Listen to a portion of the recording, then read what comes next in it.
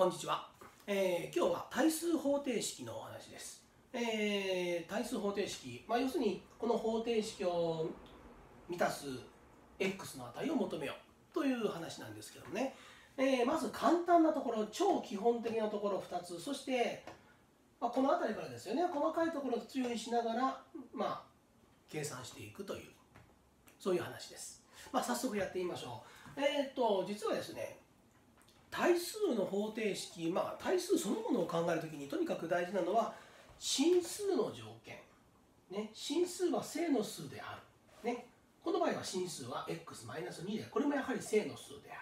でこういった真数があちこちにあるわけでこれらが全部正の数だというそういうことを確認した上で計算進めてほしいんです。ですがですがですよ。いきなりですけど。ね。実はこの1番2番はね真数条件なんて確認する必要ないんですよ本来は。もう定義をしたが定義を使って。ねそもそも定義。この定義を使えば実はあまあまあ何度も言ってるように2の3乗イコール x というこの指数読みをする、ね、そこからスタートすればもう x イコール2の3乗。コール8これで問題ないんですよ。ねだって2の3乗でしょ？ね？絶対正の数じゃないですか。x が正の数ではだなそんなこと考えなくてももう指数を使ったあの考え方を使えばこんな指数条件必要ないじゃないですか。ね？はい。でまあ、え2番目もそうです。2番目同じく定義より。で今度は、えーさっきの x のところが x マイナスに変わって、まあ、数字もちょっと変わってますけどあまり関係ないですね。えーだから x-2 イコールイコール、えー3の2乗。ということで、えー9ですから x イコール11と。というそういう話です。ですからあの真数条件真数条件ってなんかねあのうるさく言う先生がいらっしゃると思うんですけどもこれなんて定義に従っていけば x は x じゃなかったあの真数条件関係ないです。ね、3の2乗が負になるはずないですよね。3の2乗が負だったら大事ですよ。もう必ず正の数になりますから、まあ、こんなことをいちいち細かく言うのはどうなのかなって僕は思うんですけどね。はい。なんか形だけ真数条件よりって書いてあって何の意味もないし。ね。で、本当に必要になってくるのはここからです。3番目。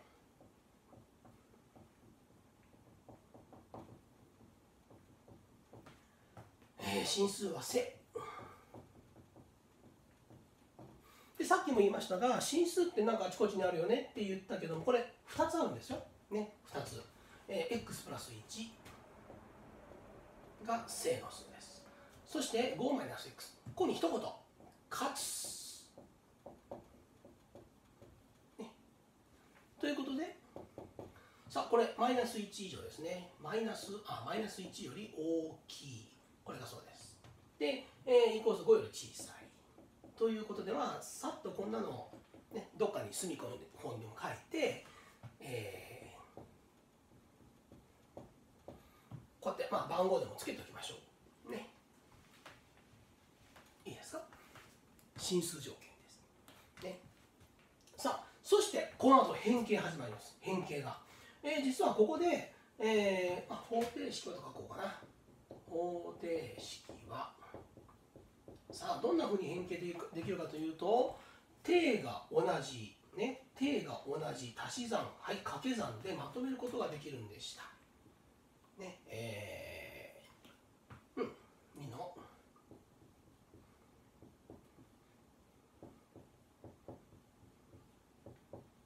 まあこんな感じですよね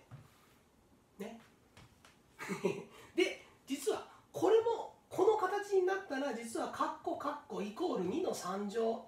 2の3乗イコールこれでもいいんですけどまあ一般的にはこんな感じで3ではなくこれをいいですか？もともと3だったんですよ。これをログ2の8と。3ですこれ。3左辺をログで表して右辺右辺もログで表すと。両辺ともにログの形になっているいるからこそそこでこの2つの式を比べることによってここが等しくなるぞということ、ね、こんなふうに。イコール8なんですね。だからさっきも言ったようにあの2の3乗イコール8でも構わあの指数読み、ね、2のなんとか乗でこっち戻ってくるやつ。それでも構いません。ね。まあこうやってきちんとまああの3をね62の8にしておくところがミソなんですよね。ね。まあ、ちょっと次の問題なんかもそんな感じそんな感じですけど。さあそしてこれです、えー、転換します。X2 乗ちょっとね符号いろいろ続きますよ、えー、一発でいきますよ。X2 乗本来は5-1の 4x ですけどで5えー、っとこっちか。53か。まあこんな感じでねこんな感じかね今この変形どうですかね？これ本当はマイナスがつくんですけどもう全部符号変えてます、ね、全部符号変えて展開してます。最初から。まあそういうことができると、まあ、あの全部書いた方が早いよっていう人もいるかもしれませんけど。ちょっとでもね書く行数を減らすっていうことですよ、ね、さあそして答え。答えの方はというと1と3なんですけどね。あこれです。丸1より。X イコール1大丈夫ですね。X イコール3も大丈夫ですね。ああちょっとこう書いておこうかなこれがいいかな、ね、よって。X イコール1と3はい括弧、えー、丸1をミータースと。これが簡単でいいかもしれませんね。でもしもこれであの条件に合わないものが出てきた場合はその合うやつだけを答え変えてね、そういうところも確認のために、まあ、ぜひやってみてください。で、そんなに難しい計算はないと思います。ね、まずは真数の条件、ね、連立不等式で x の範囲を求めておく。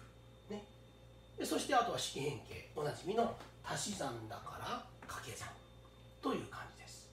さあ、えっと、4番目の問題、なぜこんな問題、な結局同じだろうとかいう感じなんですけど、なぜそのこの問題を入れたか、大体分かりますかね？一つは2を上に上げるってこと、ね、例によって2を上に上げて考えるんだと。でもう一つはこの引き算このマイナスなんですよ。このマイナスをどう処理するかで結構スピードに関わってきます。スピードが変わってきます、えー、一般的にまず4番は同じく真数。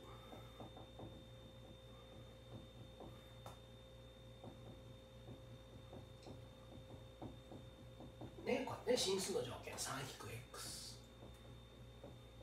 かつ。そして 2x-1 ね。よってこれも同じく。X は3より小さいっていうことと2分の1より大きいこんな感じですねこんな感じで、えー、x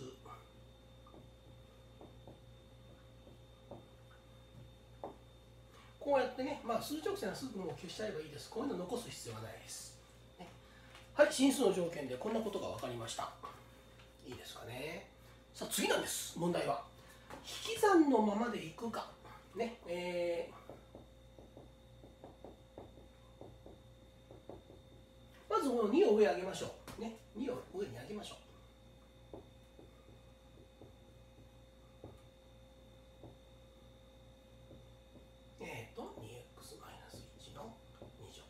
コール1 1っていうのはログに直しておこうねログ2の2といいですか定数項はねもうログに直しておくと。そういうふうな感じでやってみてくれ。でこの次なんですけどねこっからすぐこうやっちゃいますかね。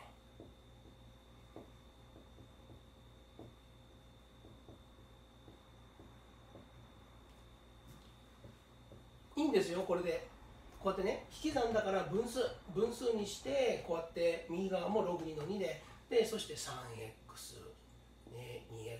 マイナス1の2コール2っていうふうな感じで分数の形で方程式をちょっとログをなくしてこういう形に持っていく。という方法でも構わないんですが構わないんですよ。でもねかさばるんですよこれが。ねどうしても場所取るしあの回答欄をかなり使ってしまうし。でや試しにやってみてほしいのがこれね今日のワンポイントはワンポイントですこれねえー、これをね移行してください。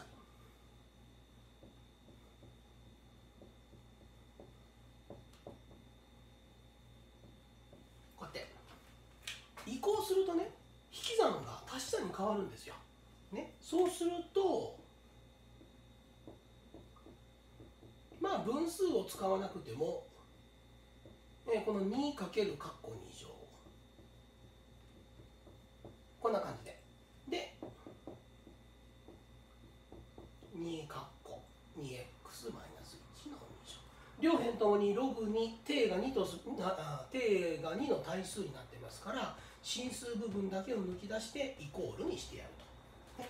でそうするとねあとはこれ展開するだけなんですけど、えー、とこれも2人が CC が8で 8x2 乗。でマイナス4の8の、うん、マイナス 7x か。で2く3でマイナス1ですかね。だったかな？こんな感じね。でこうやってこっち行きましょう。もうこれいらないな。こんな感じでもう最後までやらなくてももういいと思うんですけどあとはえっ、ー、とどうなのかな？マイナス7だからこうか。で、という形になりました。マイナス8分の1と丸1より結局マイナス8分の1はこの範囲に入ってませんということで x イコール1だけが答えになります。ね、あの引き算をね引き算を移行して足し算にすると分数を使わなくても済むっていうことですっきりした式式変形が可能になります。ね、これはぜひともやってみてほしい。ね、いや分数でもいいじゃん。ね、どうせ分母をかければ簡単になるしって言うんです言うんですけど本当に場所取るしその分母かけるところも全部書くことになるしだかもう最初から移行して掛け算の形でいけばもっと早くできるよっていうそういう感じなんですよ。ね。さあまああの今日の問題は一応この4つなんですけども超基本的なその定義に基づいて x イコールですぐ出せる1番そして2番ね1番と2番はそうやって出せるんです真数条件は考える必要ないです、気になる人は真数条件一応書いておいてください。ね書いてなくてもねそれに罰する先生なんかいません。いません。気にしなくていいです。もし罰されたらどうしようか。困ったね。うん。まあ文句でも言って。